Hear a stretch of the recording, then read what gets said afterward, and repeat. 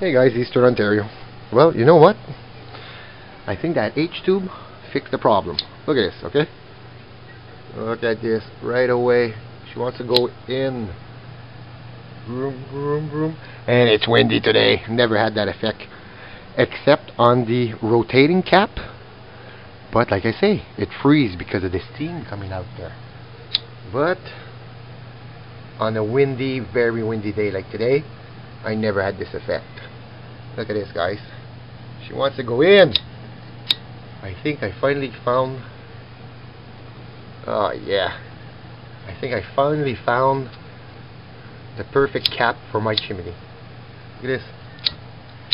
Oh, yeah. Whew. We've got suction, people. We've got suction.